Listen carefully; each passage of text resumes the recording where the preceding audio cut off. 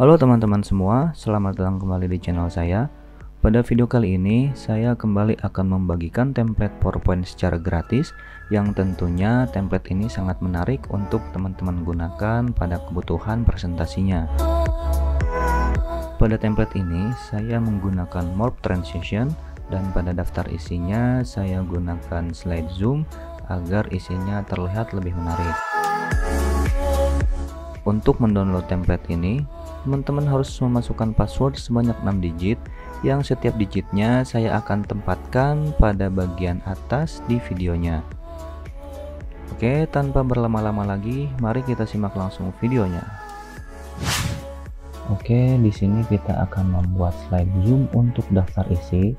Yang pertama teman-teman harus lakukan adalah membuat bagian-bagian yang akan dimasukkan ke slide dari daftar isinya yaitu pendahuluan, identifikasi masalah, sampai dengan tujuan penelitiannya. Kalau misalnya sudah dibuat semua, kita kembali ke slide ketiga yaitu slide uh, daftar isi. Kemudian di sini teman-teman tinggal pilih menu insert, pilih menu zoom, kemudian pilih selection zoom. Dan teman-teman tinggal masukkan slide yang akan dibuat ke dalam slide zoomnya Oke, di sini saya akan membuat uh, dari pendahuluan sampai tujuan penelitian. Oke, kemudian di sini saya akan hilangkan terlebih dahulu untuk uh, outline-nya. Kita pilih outline, kemudian kita akan berikan shadow terlebih dahulu. Oke, saya tinggal atur.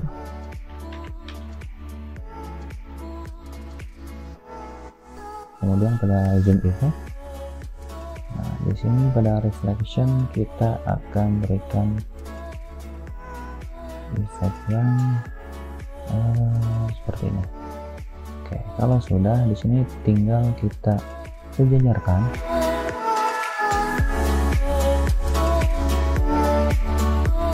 Susun secara acak terlebih dahulu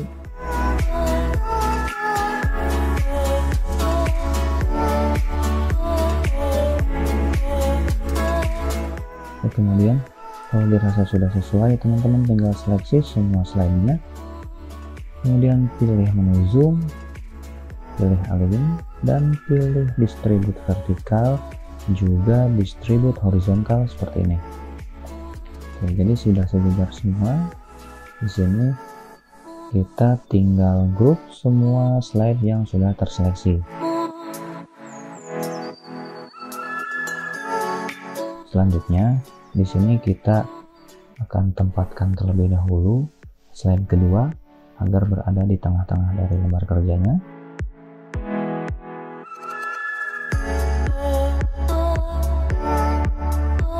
Oke, jika sudah dirasa slide kedua ini tepat berada di tengah-tengah lembar kerja, di sini kita tinggal memasukkan tanda panah. Teman-teman bisa memasukkan tanda panah pada menu icon atau teman-teman bisa membuatnya dengan uh, text box ya. Di sini saya hanya menggunakan text box.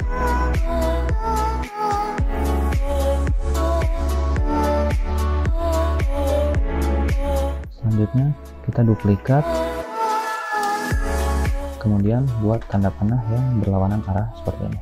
Kemudian untuk tanda panah yang mengarah ke kanan, kita akan letakkan di bagian kanannya seperti ini.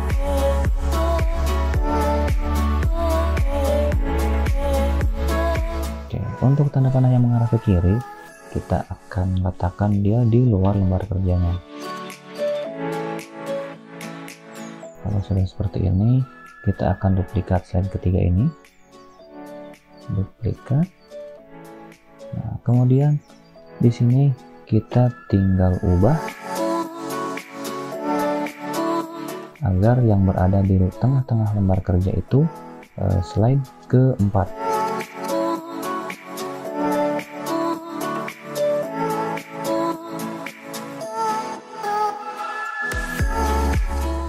untuk tanda panah yang mengarah ke kiri tadi kita masukkan berada dalam lembar kerja. Dan untuk tanda panah yang mengarah ke kanan di sini kita tinggal letakkan di luar lembar kerjanya. Seperti ini. Oke slide ketiga. Slide keempat. Oke, jadi seperti ini posisinya. Kemudian di sini kita gunakan morph transisi pada kedua slide ini. Kita gunakan transisi kemudian pilih morph dan sesuaikan durasinya.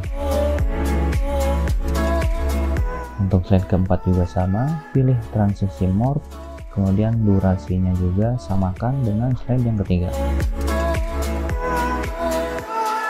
Selanjutnya kita kembali ke slide ketiga pada tanda panah yang mengarah ke kanan, di sini kita akan berikan aksi agar ketika diklik dia menuju ke slide keempat. Oke, caranya cukup mudah. Teman-teman tinggal klik eh, tanda panah ini, kemudian pilih menu insert, kemudian pilih link paste in this document, pilih slide tujuannya yaitu slide keempat.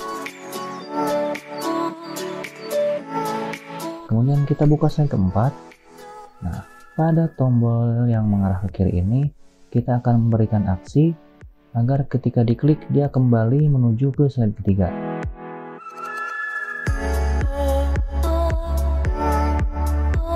Oke, di sini tinggal kita coba jalankan apakah sudah berjalan. Oke, kita akan jalankan tombol panahnya.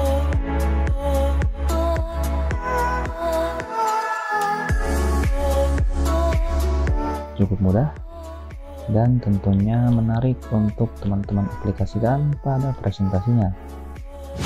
Oke, kemudian di sini jika teman-teman ingin merubah background dari uh, slide pendahuluan sampai slide tujuan penelitian, cara cukup mudah.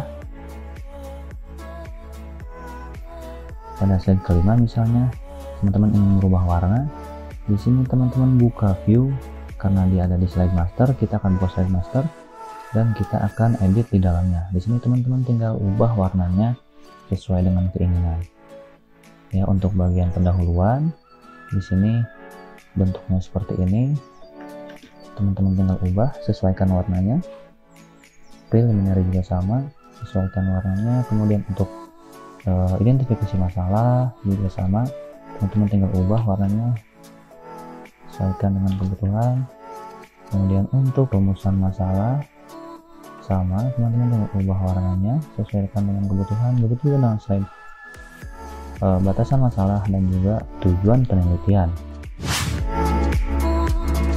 Oke teman-teman itu tadi sedikit tutorial dan cara mengganti templatenya.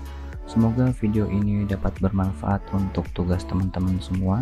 Jangan lupa klik tombol subscribe like video ini, share juga ke teman-teman lainnya agar saya dapat terus membagikan template-template PowerPoint menarik lainnya yang bermanfaat untuk tugas kita semua. Sampai jumpa.